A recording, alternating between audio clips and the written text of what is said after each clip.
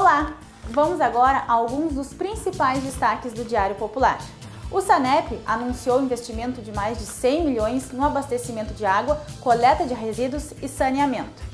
Um protesto de pescadores na colônia Z3 pede o pagamento do seguro defeso a todos os beneficiários. O pagamento foi feito a apenas 10% dos trabalhadores da região que deveriam ter recebido a verba do governo federal.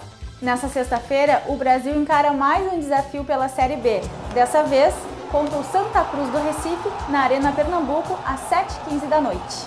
A força-tarefa do governo do estado contra os desmanches fiscalizou seis estabelecimentos comerciais em Pelotas. Pelo menos três pessoas foram detidas por furto de energia e crime ambiental. E para comemorar os 205 anos da cidade mais doce do país, o Diário Popular preparou um caderno especial. Quem traz mais informações é o repórter Leon Sanguiné. O trabalho conta a história da cidade a partir dos povos que a formaram e ainda formam. Nele, o leitor fica sabendo que tudo começou há mais ou menos 2.500 anos, quando vieram para cá charruas minuanos e um pouco depois os guaranis. A partir daí, começa uma trajetória que passa ainda por Europa, África, Ásia e América do Sul, chegando até os dias de hoje, quando Pelotas se torna mais brasileira com os estudantes da UFPEL oriundos de outros estados. São 20 páginas e o Diário Popular convida o leitor a conferir.